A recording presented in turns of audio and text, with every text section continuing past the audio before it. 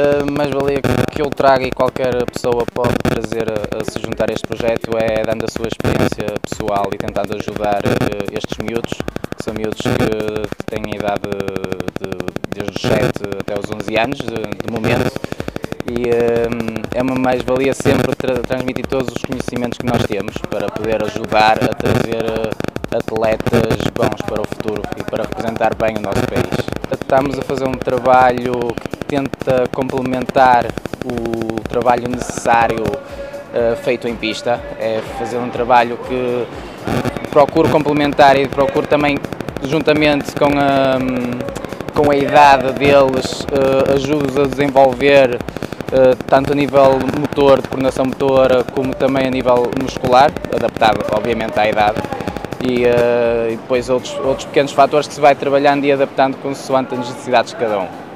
É um projeto que ainda está no início, mas uh, até agora tem-se visto ótimas, ótimas previsões para que isto tenha muito sucesso no futuro. Uh, houve 270 atletas interessados a integrar este projeto, neste momento estão, estão 14 atletas, atletas de muito boa qualidade, com atletas muito promissores eh, estamos cá nós, da, parte da, Federação, para tentar eh, ajudar eh, que eles cheguem a um patamar muito bom a nível internacional.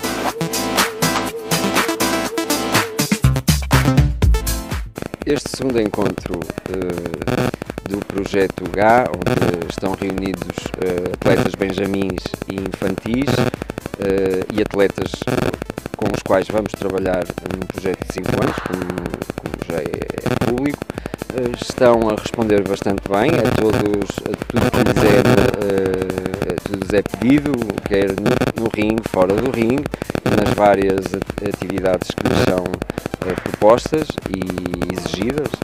Uh, portanto, o balanço é bastante positivo. É a minha primeira experiência, estou a gostar muito, vejo que os miúdos estão, já evoluíram bastante em relação ao primeiro encontro que nós tivemos no mês passado. Já vejo algumas linhas bonitas, posturas e braços. Falta algumas técnicas ainda em relação, eu falo na parte clássica, né? na parte da dança. Mas eu creio que próximo mês eles vão conseguir fazer direitinho.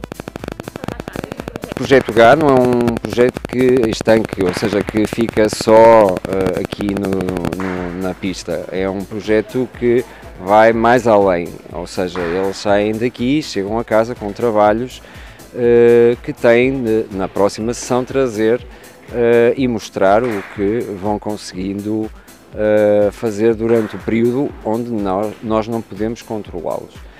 isto ajuda a que não só pensem no projeto como não só uma forma, uma forma de se reunirem de mês a mês, mas também uma forma de estar na vida, que é, aqui, é isso que nós estamos a tentar ensinar-lhes, não só a parte técnica, mas uma forma de estar na vida de um desportista. Eu sou professor de balé clássico, sou formado pela IDTA, International Dance Teacher Association, que é de Londres. Dou aulas em Guimarães, dou aula na Lixa, dou aulas no Porto, em Maia de balé clássico, jazz e contemporânea.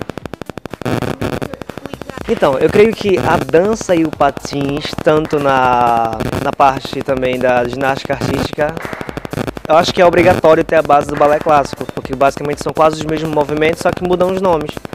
Por exemplo, vocês fazem um. Ah, esqueci agora. Um axel, que para mim seria um entrelacé.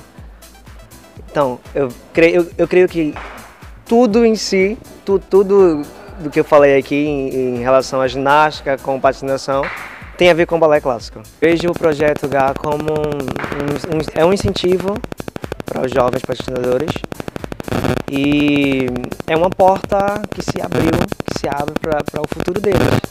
Você vê que tem miúdos aqui que são fantásticos, que têm um grande talento e que têm um potencial bastante para avançar e ser o melhor do mundo.